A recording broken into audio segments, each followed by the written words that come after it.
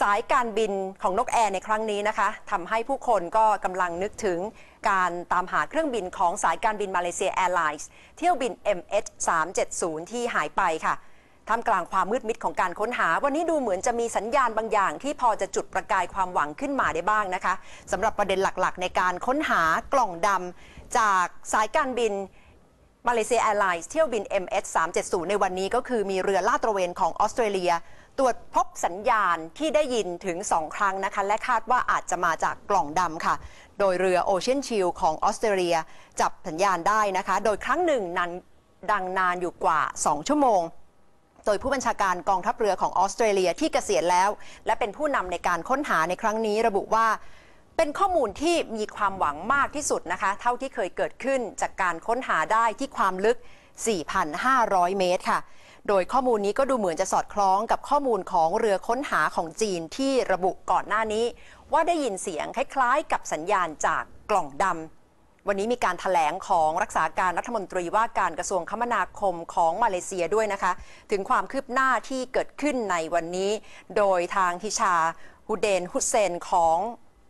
ของมาเลเซียก็ได้ถแถลงในประเด็นนี้ เป็นประเด็นที่ได้รับการยืนยันหลังจากที่ได้พูดคุยกับหัวหน้าฝ่ายปฏิบัติการกองทัพเรือของออสเตรเลียนะคะ และเป็นข้อมูลที่นำมาบอกต่อสื่อมวลชนในการถแถลง ซึ่งถือว่าเป็นข้อมูลที่มีความคืบหน้าที่สุดในรอบหลายวันที่ผ่านมา กับความพยายามค้นหาสัญญาณจากกล่องดำนะคะ มาดูรัศมีที่กำลังเกิดขึ้นในการค้นหาเรือ จากเรือลาดตระเวนของปฏิบัติการนานาชาตินะคะ วันที่หนึ่งเป็นสัญญาณที่ได้มาจากเรือลาดตระเวนของกองทัพเรือประเทศจีนค่ะ ซึ่งเป็นบริเวณทางฝั่งตะวันตกของเมืองเพิร์ธของประเทศออสเตรเลีย เป็นจุดที่กำลังตีวงให้แคบลงเรื่อยๆนะคะสำหรับการค้นหาสัญญาณจากกล่องดำตอนแรกที่ทางรัฐบาลจีนเปิดเผยข้อมูลออกมา ก็ยังเป็นข้อสงสัยว่าจะสรุปได้หรือไม่ว่าจะเป็นสัญญาณจากกล่องดำจริงๆ วันนี้เมื่อทางกองทัพเรือของประเทศออสเตรเลีย ระบุว่ามีข้อมูลที่สอดคล้องกันทำให้ดูเหมือนความหวังก็จะชัดเจนมากขึ้นนะคะว่าน่าจะเป็นสัญญาณจากกล่องดำค่ะ โดยจุดที่พบก็อยู่ใกล้ ๆ กันนะคะ ระหว่างกองทัพเรือของจีน และกองทัพเรือของออสเตรเลียค่ะสำหรับการทำงานของเรือ Ocean Shield นะคะ ซึ่งเป็นความหวังในการค้นหาในครั้งนี้ เป็นเรือ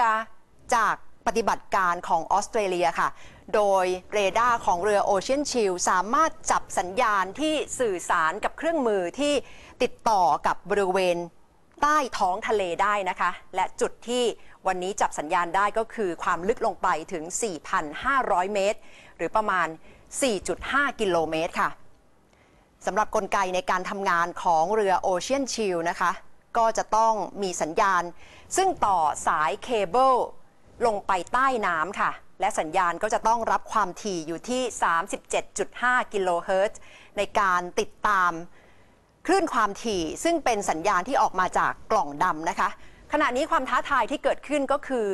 ขณะนี้ครบ 1 เดือนเต็มที่เครื่องบินลำนี้หายไป เพราะฉะนั้นแบตเตอรี่จากกล่องดำซึ่งมีสีส้มเนี่ยนะคะ ก็กำลังจะหมดลง เพราะฉะนั้น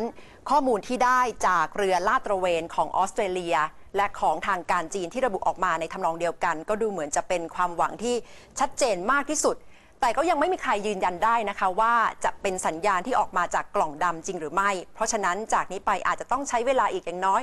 2-3 วันค่ะ เพื่อที่จะยืนยันความชัดเจนของข้อมูลนี้ และถ้าชัดเจนจริง ๆ ขั้นต่อไปก็จะต้องส่งโดรนลงไปใต้น้ำนะคะ เพื่อที่จะบันทึกภาพ และพิสูจน์ว่าสัญญาณที่ออกมาจากเครื่องที่ส่งสัญญาณกระพริบกระพริบเป็นเสียงปิงปิงออกมา